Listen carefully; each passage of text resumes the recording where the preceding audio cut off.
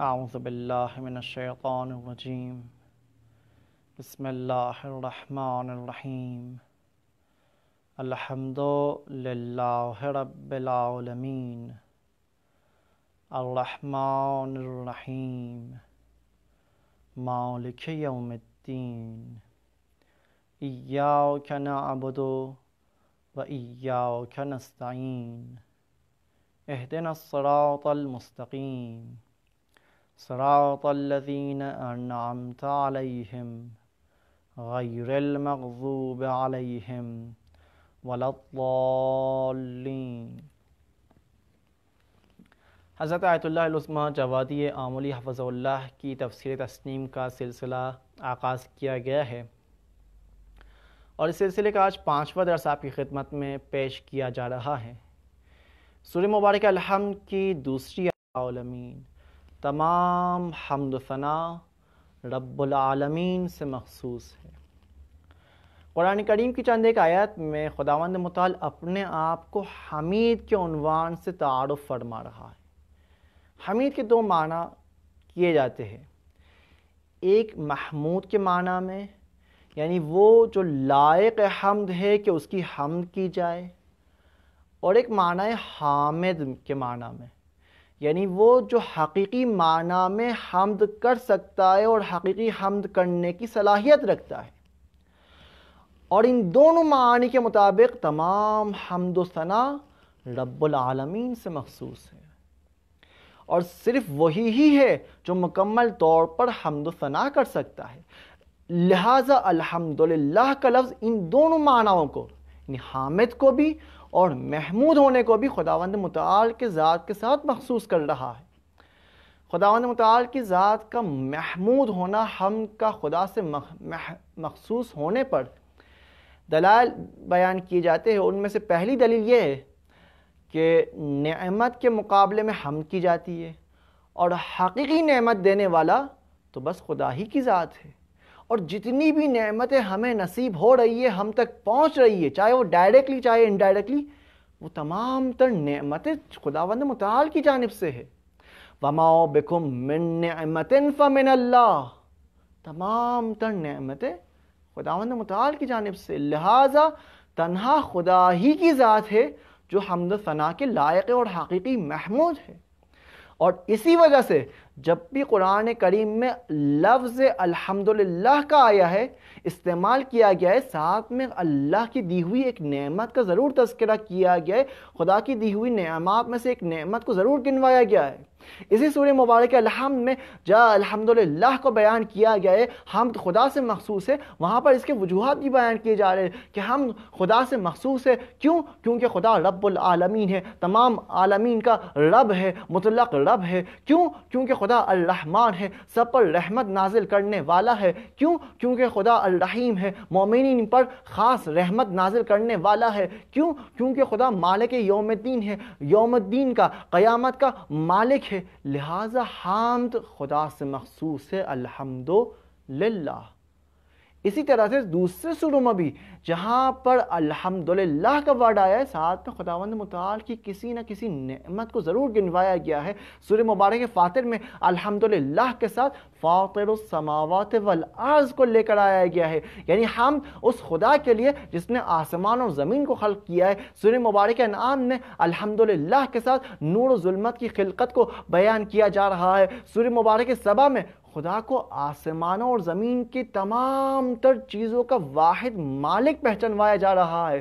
सूर्य मुबारक के कैफ में रसूल खुदा पर कुरान करीम जैसी अजीम नमत के नज़ुल को बयान किया जा रहा है। लिहाजा, हमें हम करना चाहिए, उस ज़ात के हम करना चाहिए, जो तमाम तर कायनात के ज़र्रे ज़र्रे को वजूद की नमत से नवाज़ रहा है। खुदाया तू ही बस हमद का लायक अल्हम्दुलिल्लाह इसके अलावा हम का खुदा से मखसूस होने और सिर्फ़ और सिर्फ़ खुदात खुदाबंदी ही हकीकी महमूद होने पर दूसरी दलील। और वो दलील ये है, क्योंकि पूरी कायनात को तो खुदा ने ही खल किया है और खुदा तो जमील है। और जमील जमाल के सिवाय खल्क नहीं कर सकता, लिहाजा कायनात की हर चीज़ जो कि खुदावंद मताल की मखलूक है उसे खूबसूरत और जमील खल्क किया है। और क्योंकि हम तो खूबसूरती की वजह से की जाती है हम तो जमाल और जमा, जमाल की वजह से की जाती है। लिहाजा दुनिया की तमाम खूबसूरत खूबसूरतियों की हम का असली हकदार वो है जिसने इसे खूबसूरत और जमील बनाया है। लिहाजा महज हम ज़ात खुदावंदी से ही मखसूस है। और खुदा के काम ऐसे नहीं कि खुदा के लिए तो जमील हो, लेकिन हमारे लिए जमील ना हो। खुदा के काम सब के सब जमील है। खुदा के तमाम तब अफ़ाल जमील है और जमाल। और इसी वजह से हम माह रमज़ान की दुआ शहर में, खुदावंद मतकाल की खिदमत में यूँ अर्ज़ करते कुल्लो जमाओ, लिखे जमील।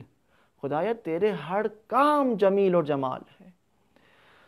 और हमारे काम की तरह नहीं, खुदावंद मुताल के काम। हमारे काम में ऐसा हो सकता है कि हमारे काम हमारे लिए जमील हो, हमारे लिए खूबसूरत हो, लेकिन दूसरों के लिए खूबसूरत ना हो।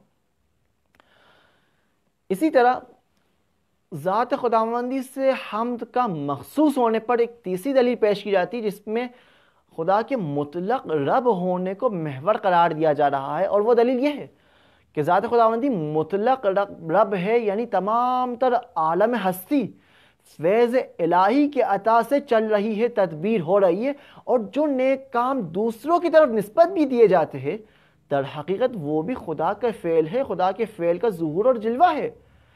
इसकी एक मिसाल जो बयान की जा रही है, कुरान मजीद में वो ये कि जंग के मैदान में हक सिपाहियों का बातिल पर गलबे को खुदा मुताल अपनी तरफ़ नस्बत दे रहा है।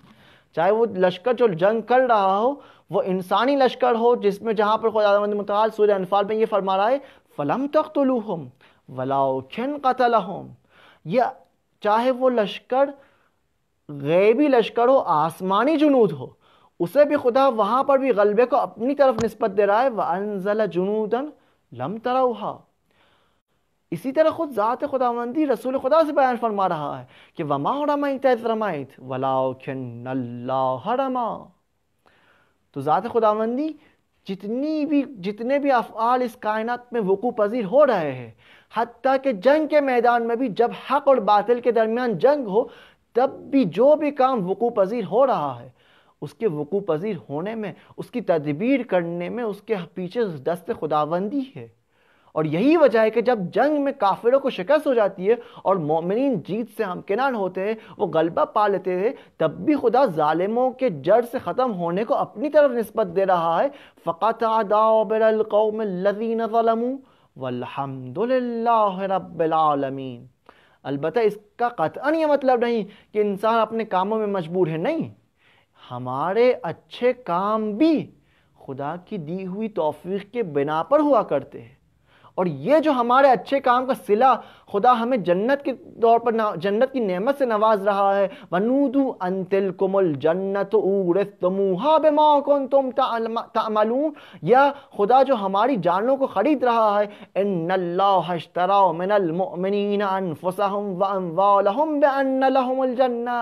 या खुदा, ये जो हम खुदा को कर्ज हसना अदा कर रहे होते हुए मंजल कर्दन हसना क्या खुदा को हमारे नेक अमाल की ज़रूरत है?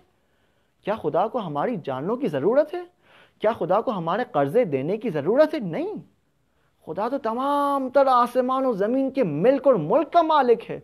खुदा तो वाले लाह मुल्क समावत वल अर्ज़ है। खुदा तो लहुल मुल्क लहू मुल्क समावत वल अर्ज़ है। खुदा तो अम्मयमल को सम अबसार है। खुदा तो लहू जुनूद जुनूद समावत वल अर्ज़ है।